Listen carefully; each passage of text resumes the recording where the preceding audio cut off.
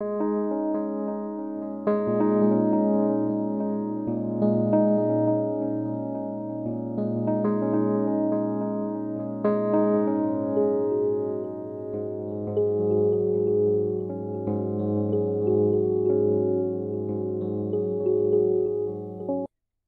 everyone.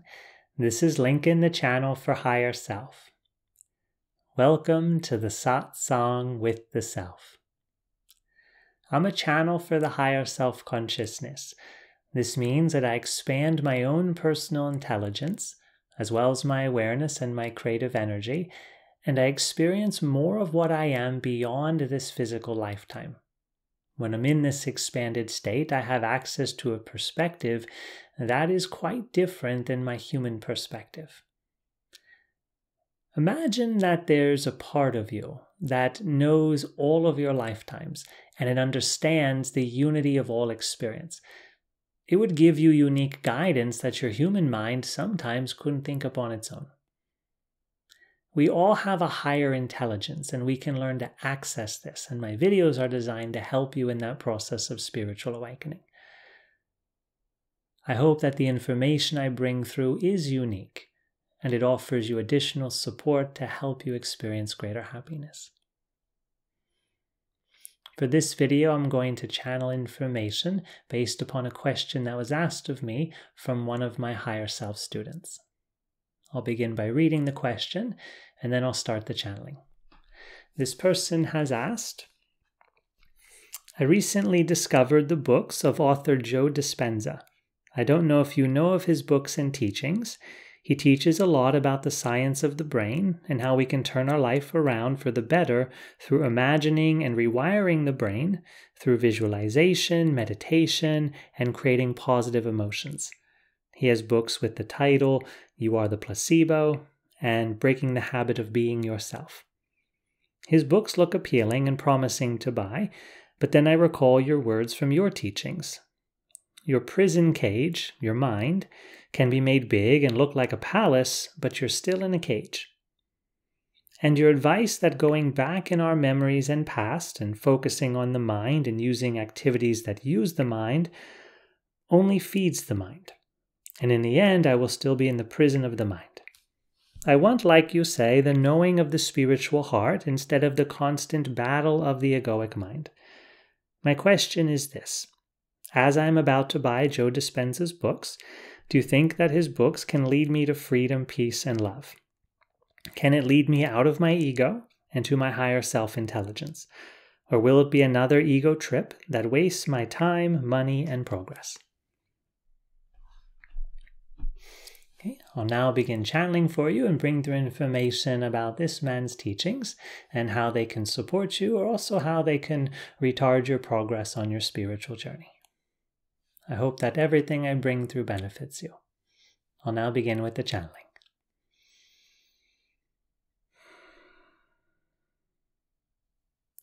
Dear one, close your eyes. Feel your spiritual heart.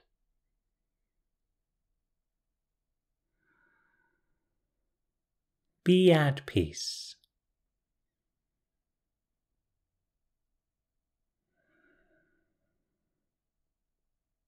You are God.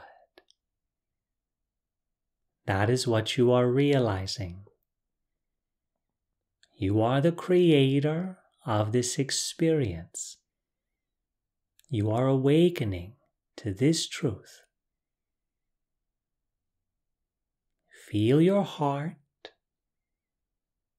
Relax here.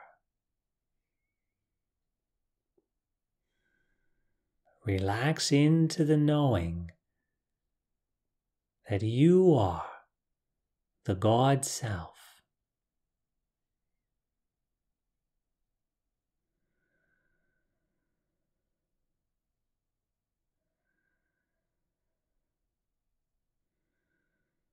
How does this feel? You are God. You are the eternal creator, having a personal experience of creation. You are God within a universe that is yours to shape. Feel your heart.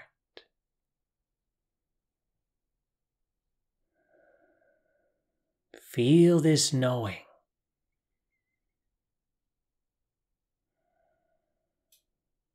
You are the God self.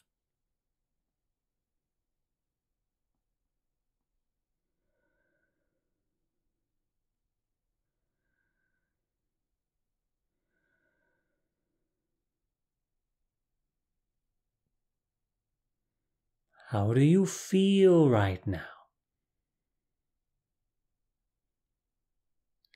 We Deal One has just guided you in a practice, but also given you an opportunity to learn.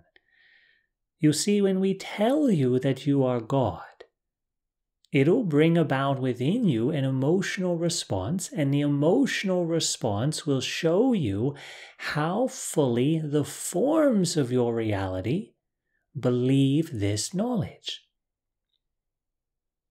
You see, that's what your emotions are. Your human mind and the intelligence shaping your personal universe responds to your consciousness's instruction.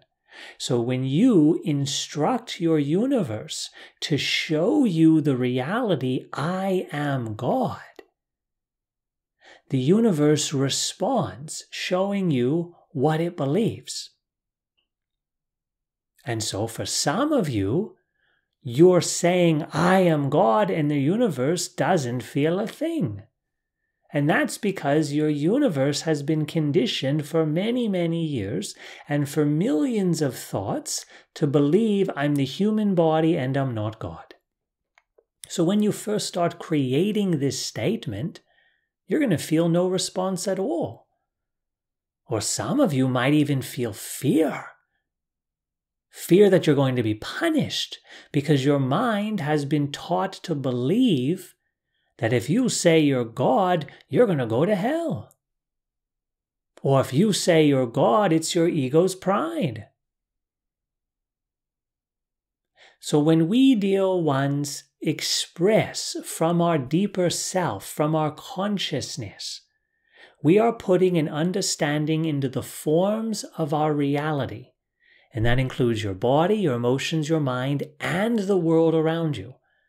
The world has physical forms, it also has emotional energy, and it has a mental understanding. The mental understanding of the world is what organizes the events that happen to you. So when you deal one, being God consciousness, which is what you actually are, express an understanding into the present moment, you're getting a mirrored reflection. The forms are showing you based upon the understanding you've given to those forms in the past. You've been telling yourself who you are for a lifetime. So when you start saying you're God, the world's going to tell you and your body's going to tell you how that relates to what it believed because you told it something else for many years of time. So if I say, I am God, and you've been telling yourself to be afraid of God, you're going to think you're getting punished by saying, I'm God. That's because the forms were taught to believe that, because the world taught you to put that into your reality.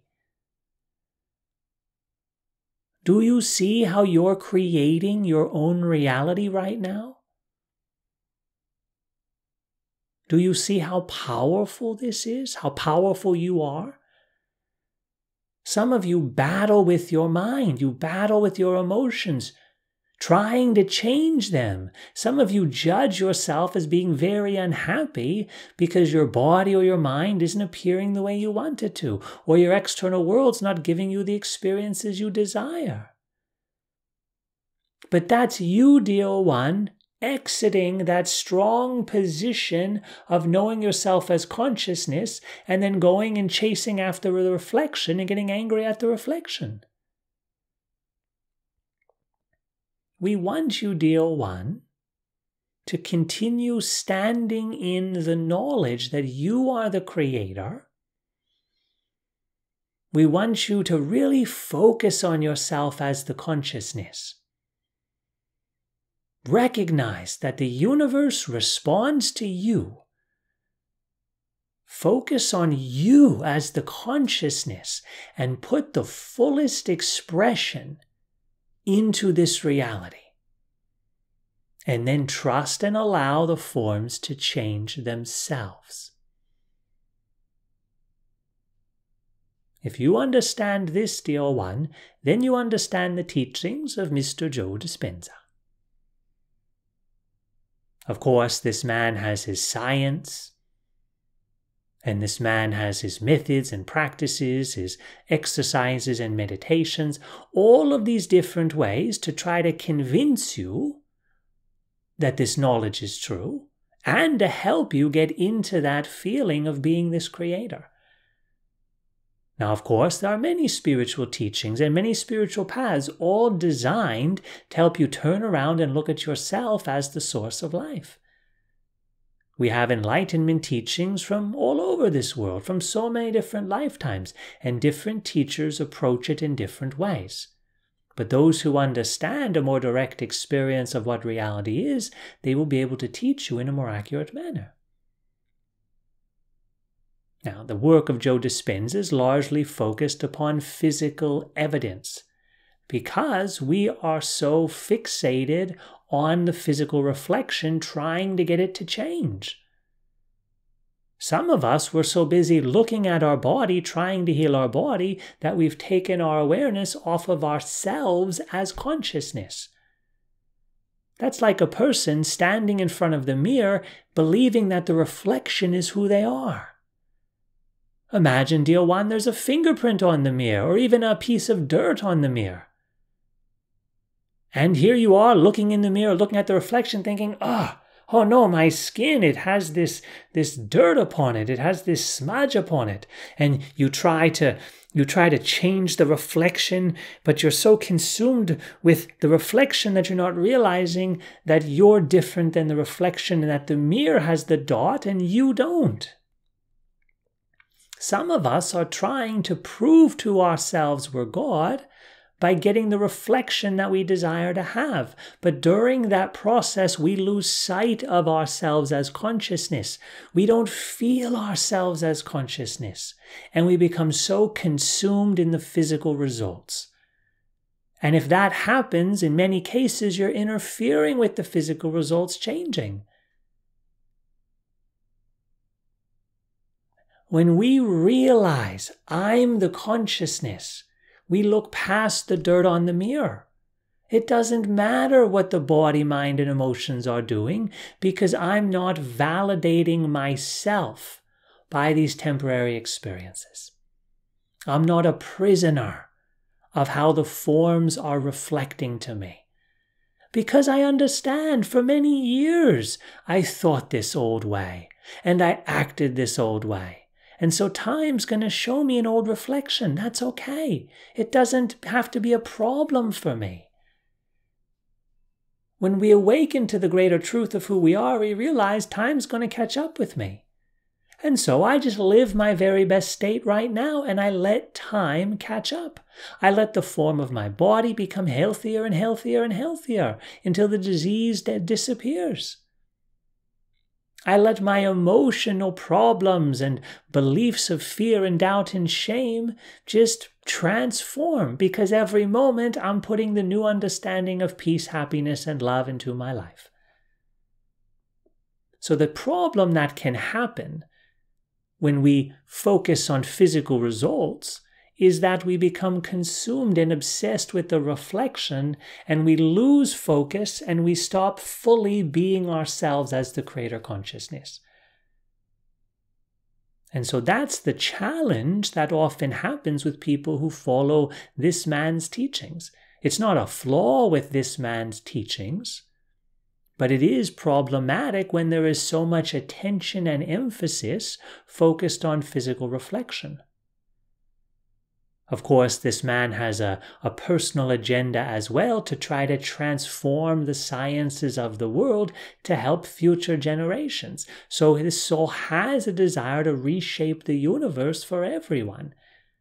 Nothing wrong with this, but that is again why he chooses to emphasize so strongly the science of creating change.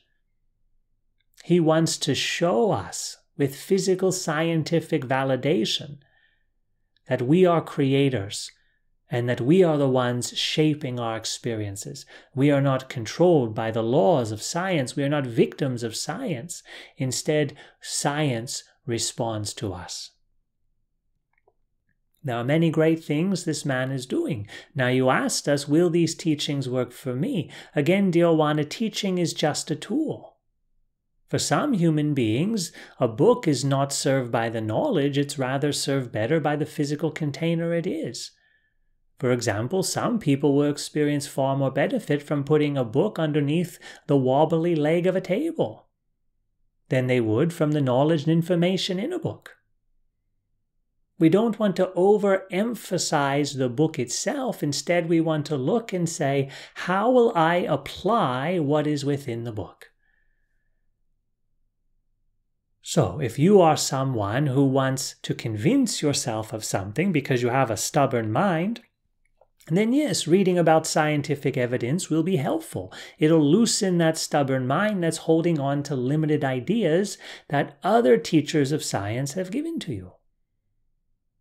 Some of you, you need inspiration, so you want to read stories of other people because you doubt that it can happen to you.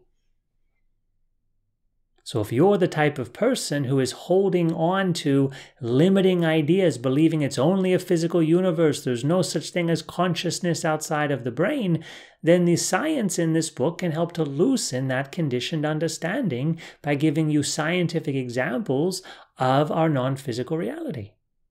That's beneficial. If you have a conditioned mind like this, the information in the books can be helpful. If you, dear ones, are struggling with doubting yourself as a creator, then the examples of other people's healing will be inspirational for you, and that can help you as well. If you, dear one, already know yourself as God consciousness, then you're better served by not using the information in the book, because it's only moments of time that are taken away from fully being yourself as God. So you have to look at yourself and you have to look at what this tool offers to you. If you, dear one, were trying to swim across a river, would you take a hammer in your hands? No. If you were trying to build a home, the hammer would be wonderful. If you were trying to build a bridge, even, the hammer would be great. But if you're trying to swim across that river, the hammer would slow you down. A tool, dear one, is only useful for the purpose it was intended. So you must look at yourself and ask yourself, how will this benefit me? If I'm the creator of my reality and I see my mind's sticking points, if I see the places my mind gets stuck, how will this tool help those parts of my mind? Because after all, words and concepts are information for the mind. There's also energy because the mind creates with vibration. But the information, it really changes our mind, that then changes our energy field.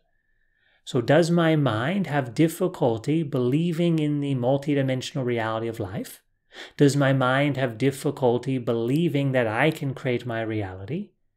Do I find myself doubting this experience and thus abandoning it or sabotaging my progress at certain times? If that's the case, then yes, these tools can be very helpful.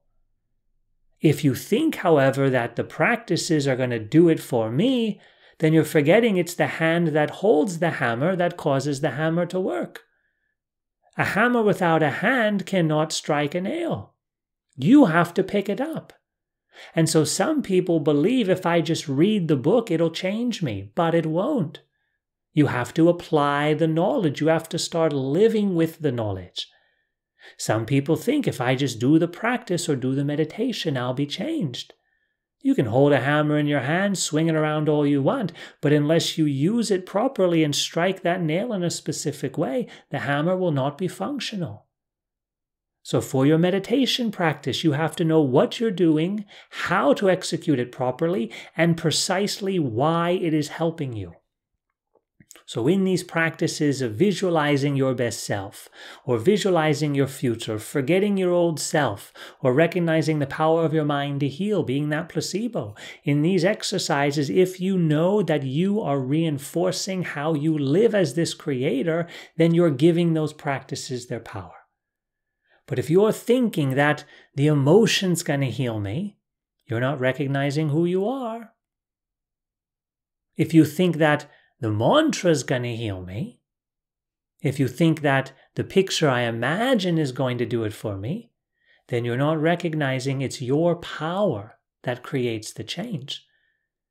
You put the power into the hammer when you swing it.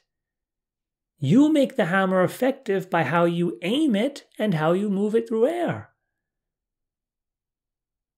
Far too often, people are looking for the magical pill and the magical mantra and the magical meditation practice and the magical teacher.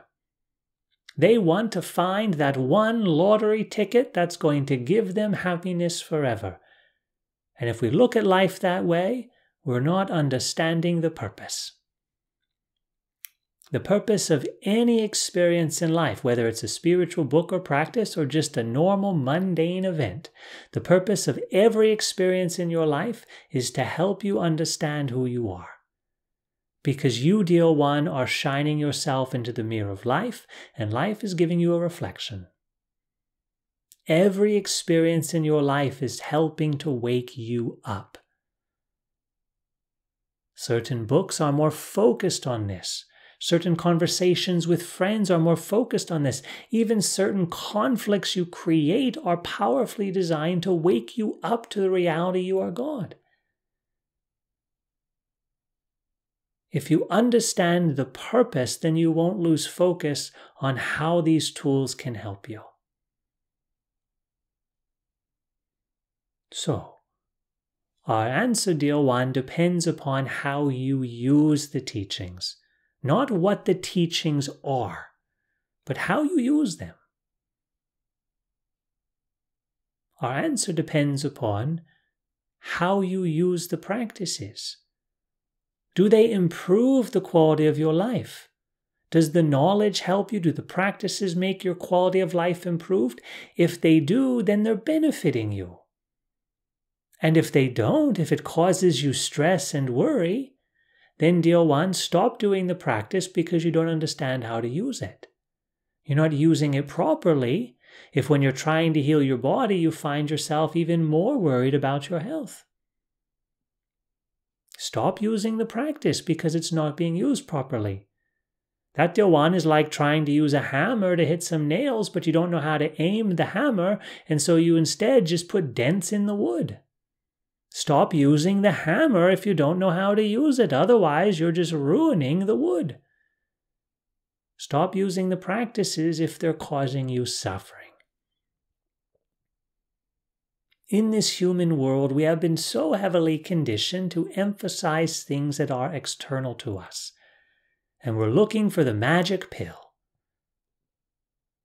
We've been taught to give our creative power away, thinking some material object or some written book or some meditation practice is going to awaken me. But the only thing that awakens you is you observing yourself as the creative consciousness. If you're looking at a book, you'll understand the book, but you won't understand yourself. If you're thinking the mantra is going to do it, you will understand everything about the mantra, how it sounds, how the vibration feels, where the vibration happens in your mouth with your teeth, your tongue, and your throat. You'll understand all of it but it's not going to help you awaken to yourself as the creator. The mantra won't have power to change your life if you're only focused on what the mantra is. You can study the shape of the hammer. You can tell us all the measurements and the weight, the age and the size. You can be a master at the hammer's expression. but it won't help you build that house or that bridge unless you know the power that you have using the hammer. So, if you're going to follow any teaching, any practice, any teacher, this is what's most important. How you practice is so important. And, dear one, for those of you who really understand what we're sharing with you right now, you will realize that a teaching and a practice isn't really important anymore. If you can really grasp what we're saying, then you will understand the essence of any enlightenment teaching. And then you can live in any present moment fully giving yourself to life. And maybe it's fun to do a guided meditation because it allows you to really concentrate your creative energy, so do it. Maybe it's enjoyable reading a book because it allows your mind to stay focused on something and you really start pressing that knowledge into your body, mind, and emotions. Even if you understand what, you're, what we are saying and you know that you don't need the teaching anymore, you don't need the practice anymore because you're living it moment to moment, it will still be enjoyable to do certain things that are so concentrated on your awakening process. You'll enjoy reading spiritual books more than you will watching a television show. Because, yes, the books are more aligned with you. Do you need the books to enlighten? No. But they're helpful because they allow you to concentrate on something that is in alignment with your goal. So you don't have to be absolute in this understanding and say, I've gotten rid of all books and teachings and practices now that I'm realized. It's not about pushing anything away. It's about living in the wisdom that you are God. And maybe, yeah, you feel guided to use something because it benefits your quality of experience. And that choice is not coming from fear or lack or belief in powerlessness. Embrace the world, love the world. There are so many beautiful teachings and teachers. Even a flower can be the greatest teaching of enlightenment. In fact, a flower has been one of the greatest teachings of enlightenment. It is the first teaching that the Buddha gave after his own enlightenment. The Buddha Dear One, after his enlightenment, gathered everyone around, saying, I am a teacher of enlightenment now. I have realized it. And because I have realized it, I want to share it with you all. And many, many hundreds gathered around this enlightened Buddha. And he sat there. He sat there in the middle of this gathering. And for many, many minutes, even a few hours, he sat there silent. And everyone gathered. Everyone was waiting. This, this beautiful man, this wondrous teacher, what will be his words? And in one moment he broke his silence, not by speaking, but by moving. He broke his silence and he reached down and he plucked a flower from beside where he was sitting, and he held that flower up in the air. His teaching was that flower. And there was someone, someone in the crowd that understood the teaching, and this man smiled. And this man became the first student that Buddha enlightened. Even a flower can be a powerful teaching of self realization. So don't think, dear ones, that you have to get the highest or the greatest because you'll be chasing after empty space. Instead, dear one, realize that every moment and every experience is your awakening and even something that doesn't speak, something as simple as a flower, can be the most profound teaching for enlightenment. So don't crave after the newest science running for the hills. Don't crave after the next meditation thinking this is going to do it. If you are, you're grasping for thin air, you're grasping for space. And what happens when you reach for space, dear one? You end up empty handed. Instead, dear ones, look. Look at the power of your hands, the power inside of your consciousness, because you're the one that picks up the hammer. You're also, dear ones, the one that picks up the flower. Your enlightenment, dear one, is what the world is showing you. And when you turn and look around, look back upon yourself, you'll start understanding who you are. And then, if you continue to focus on being that consciousness, feeling it, expressing consciously as it, you will find the world reflecting you more clearly, moment after moment after moment. And you'll see very clearly how the world is shaped. The world is not shaped, dear one, by a winning lottery ticket. The world is not shaped by an answered prayer. The world is shaped in every present moment. As you yourself, dear one, are creating it. Feel your heart Feel yourself as God and celebrate yourself into life. You are the Creator, and in every present moment, this is your reality. Many blessings, dear one. Much love. Namaste.